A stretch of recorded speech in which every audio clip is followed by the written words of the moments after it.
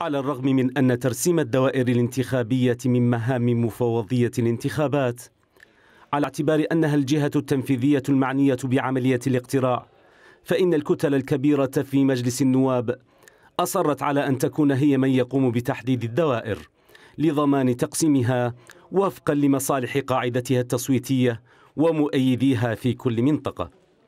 مفوضية الانتخابات أمهلت مجلس النواب حتى نهاية الشهر الحالي. لاستكمال قانون الانتخابات.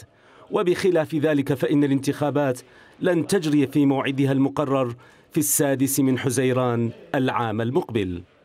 وفي تقرير نشرته جريدة المدى أشار خبراء الشأن الانتخابي إلى وجود تفاوت في توزيع الدوائر بين منطقة وأخرى حيث إن هناك دوائر انتخابية يكون فيها مقعد لكل خمسة وستين ألف نسمة.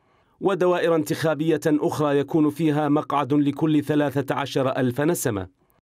وهو تقسيم نظر إليه على أنه حالة من عدم المساواة في حجم التمثيل بالنسبة إلى السكان.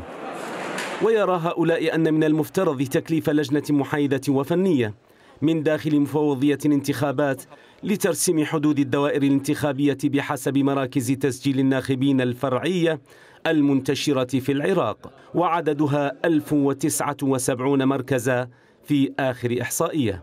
على الرغم من القفز على فقرة الدوائر الانتخابية من قبل الكتل الكبيرة يرى الخبراء أن هذه الآلية أحدثت نقلة من النظام النسبي إلى نظام الأغلبية بالترشيح الفردي الذي يعد إنجازا يجب استغلاله من قبل الجماهير وخصوصا الأغلبية الصامتة التي تقاطع الانتخابات في العادة.